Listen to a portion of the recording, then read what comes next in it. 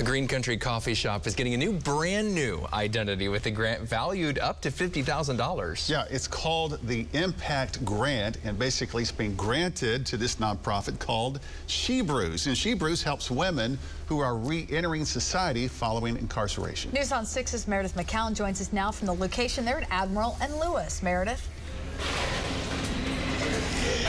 Good morning. The smell of coffee is really waking me up this morning. It's amazing. And it's so cool because She was the only nonprofit chosen in Oklahoma. I'm joined by the founder. This is Rhonda Bear. Good morning, Rhonda. Good morning. So tell us, what is the plan for this um, grant that you received? Yes, so they're going to, um, the nominee Impact Grant will help us develop a new website. They're going to market us, helping us with a lot of PR.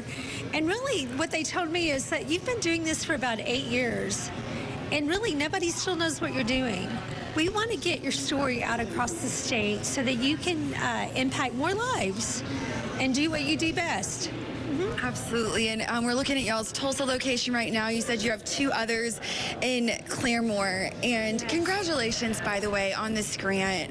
Um, you said you have a meeting August 3rd when it's all going to get started. So tell us again what the mission, the heart behind what you do.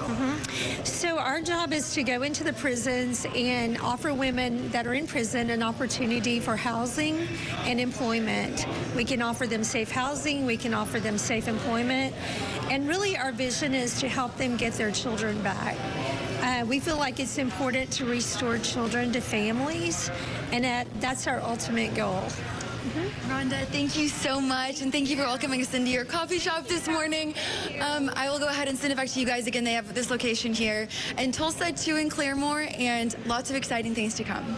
Appreciate it, Meredith. Great organization there.